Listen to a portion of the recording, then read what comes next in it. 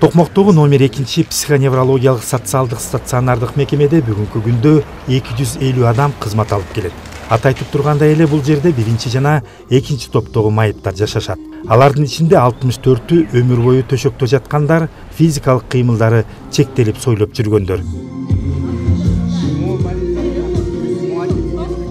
ушундай турмуштун чоң сыноосуна туш келип тагдырдын татаал сыноолорун ден соолугуна байланыштуу баштарынан өткөрүп келген адамдарга ар бир күндүн атышы алар үчүн өзгөчөлөнбөй бир калыпта болоору айтпаса да белгилүү. Ага байланыштуу бейтаптардын көңүлүн көтөрүү максатында бул мекемеде ар кандай иш чаралар байма бай өткөрүлүп келет.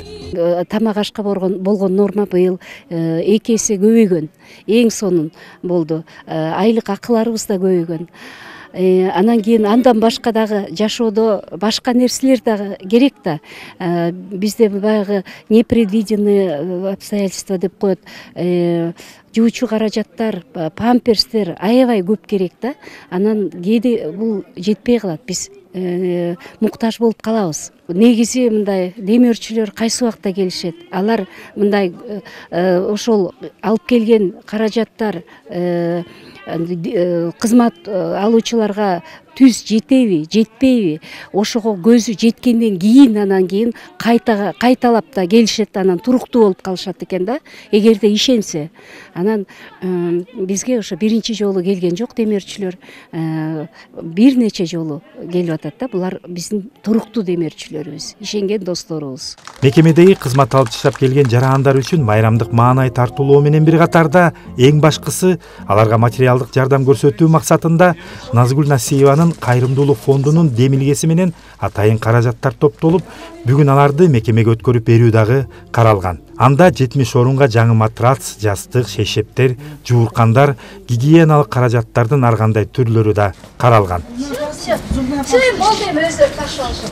хорошо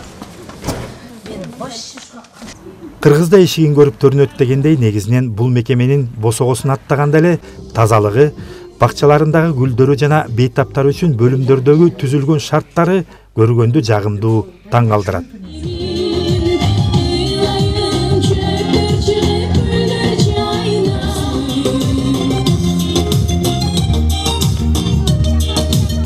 бул иш чарада атайын маданият өкүлдөрү тарабынан концерттик программа да каралып жашоочулардын көңүлдөрүн көтөрүү багытында шаңдуу ырлар жаңырды кайрымдуу элден айланса болот чындыгында мен абдан толкунданып турам анткени бул жерге келип мен мүмкүнчүлүгү чектелген инсандарды көрүп чындыгында бир чети боорум ооруса бир чети алардын жашоого болгон сүйүүсүн жашоого болгон көз карашын алардын ушунчалык жашагысы келгенин карап отуруп мен чындыгында көзүмө жаш алдым десем болот. Эң негизгиси журтубуз аман элибиз тынч болсун. Ушундай майып инсандарыбыз ар дайым көңүл чордондо болсун биздин жүрөгүбүздө жашашсын. Мен ушул кыргыз элинен да суранып кетер элем. Ар дайым кайрымдуу болуңуздар деп. Бул жерде деген ушул э, канча деген аталарыбыз канча деген апаларыбызга ушул э, кайрымдуулук иретинде аталарыбыздын агаларыбыздын инелерибиздин э, көңүлдөрүн көтөрөлү деп кайрымдуулук иретинде ушул концерт коюп келе жатабыз. Жүрөгүң ыйлайт көрсөң ушуларды. Эч качан ушул кыргыз элимде ушундай оорулуулар болбосун карылар үйүндө ата энелерибиз толбосун жакшылык болсун элибизде главный тынччылык болсун. Жалпысынан кыргыз эли кеңпейил кайрымдуулугу менен эзелтеден айырмаланып келген. Бул иш чарага да ар тараптан колдоо көрсөтүп келген боорукер адамдар көп болду. Мурат жолукеев күмүшбек куттубеков ств токмок шаары